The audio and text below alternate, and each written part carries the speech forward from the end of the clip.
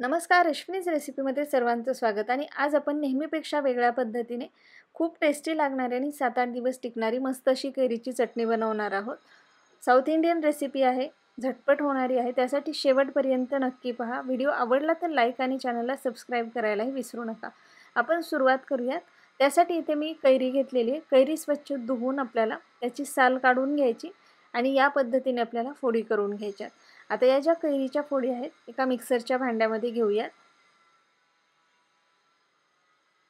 यामध्ये घालायचं आपल्याला चवीनुसार मीठ.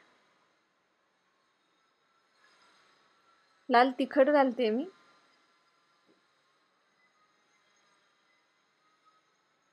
आणि यासोबतच यामध्ये थोडासा गुळ घालायचा आहे. तर कैरी किती आंबट आहे त्यानुसार गुळाचं प्रमाण कमी जास्त होऊ शकतं. आता हे मी मिक्सरमध्ये फिरवून घेते.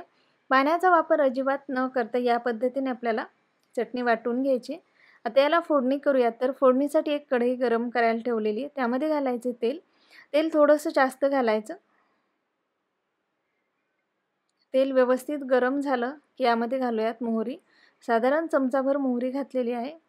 आणि याला तडतडू देऊयात. मोहरी जास्त घालायची. चव छान लागते. चटणीला खमंगपणा येतो. यासोबतच यामध्ये मी घातलेली एक चमचाभर एवढी उडीद डाळ. आणि एक चमचाभर एवढी चणा डाळ. आता जिरं घालूयात आपण.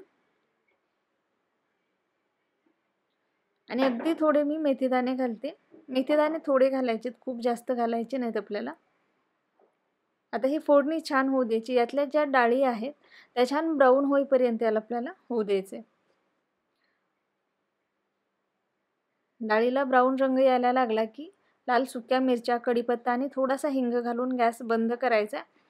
आता ही जी फोडणी आहे ही तुम्ही अशीच चटणीवरती घालू शकता किंवा या पद्धतीने चटणी या फोडणीमध्ये घालू शकता. याला व्यवस्थित मिक्स करून घ्यायचे. तेलाचं प्रमाण जास्त ठेवल्यामुळे आपली जी चटणी आहे खराब होत नाही व्यवस्थित राहते.